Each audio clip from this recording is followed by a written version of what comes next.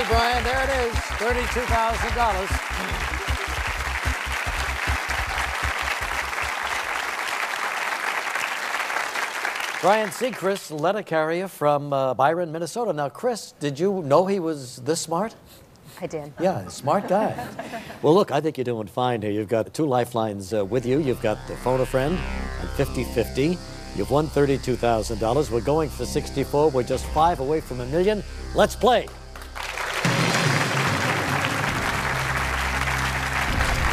All right, Bryan, take a look. Here's the $64,000 question. In 1967, what rock band appeared in the first live worldwide television show broadcast by satellite? The Who, The Byrds, Cream, The Beatles. 1967. What rock band?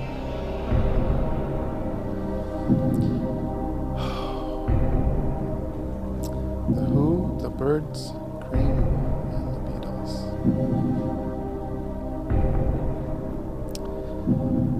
obviously the Beatles were huge. I'm not sure when the other three became popular. I know it was in the 60s, but whether it was that early. Um,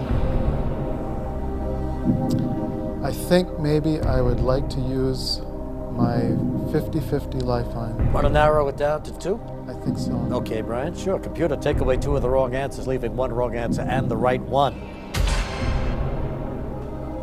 Byrds and Beatles, 1967. Hmm.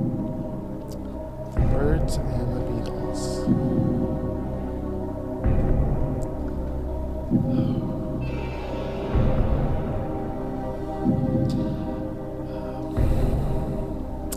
I think I want to use the phone a friend lifeline. Not sure about this, huh? Just not positive. Who do you want to call? I think I want to call Jim. Who's Jim? Jim's a, a co-worker of mine who knows quite a bit about music. In the post office? Yes. All right, fine. Our friends at AT&T will get Jim on the line, see if he can help. Hello? Hello, Jim. Yes. Regis Philbin calling from New York City. Hello, Regis. How are you? Fine. Who'd have thought that one day I'd be talking to two letter carriers from Byron, Minnesota? But about here I am. And there you are, Jim, and we need your help, okay?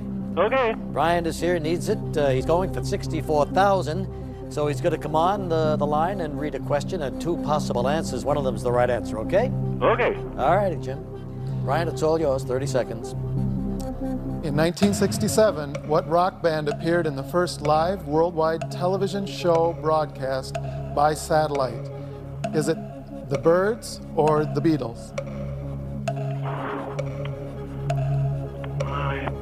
What do you think, No, I'll have to guess uh, the Beatles. The Beatles? It's just a guess. Just a guess. Not feeling too good about it? Not really, no. to honest. Okay. Well, thanks, Jim. Um, we'll give her a try.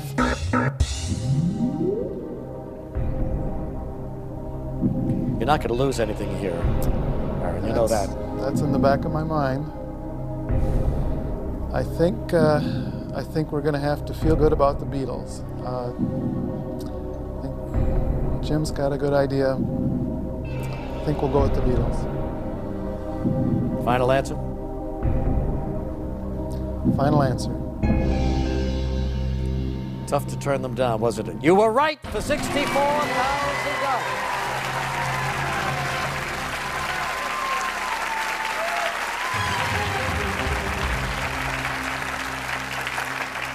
You know, it almost was too obvious, wasn't it? So that kind of backed you away from it. Seemed too easy. Well, we're four away from a million. All the lifelines are gone. We've burned up two of them on that question. Here it is now for $125,000. What state did Robert F. Kennedy represent in the U.S. Senate from 1965 to 1968? Massachusetts, Rhode Island, New York, Maryland. Well, I, I know there was quite a controversy, and I know it relates to the Senate race that's going on this year. And I'm pretty much positive it's C, New York. Final answer? Final answer. You had 64. You got $125,000.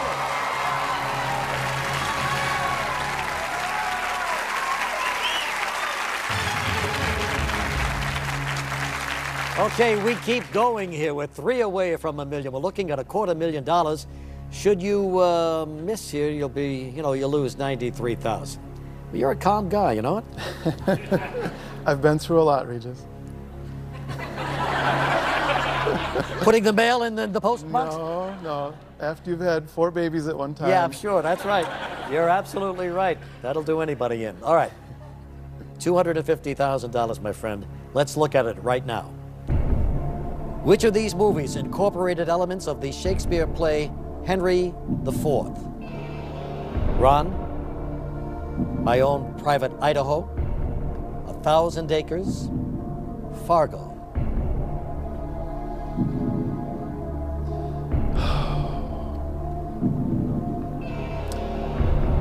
You know, I thought of myself as a movie buff until I saw this question.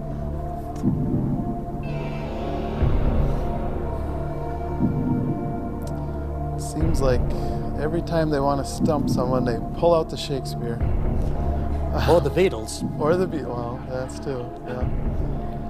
Uh, at this point, I don't have a clue, and I think I'm more than happy with what's happened so far. Well, we're happy you, uh, you won it. Uh, you want to make that your final decision? That's my final. I know you're reluctant to, to give it up, but all right. So you won $125,000. The correct answer is my own private Idaho.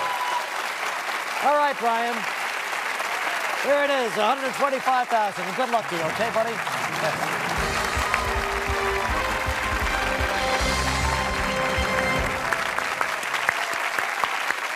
I'll bet everybody in the country was pulling for that young guy to win.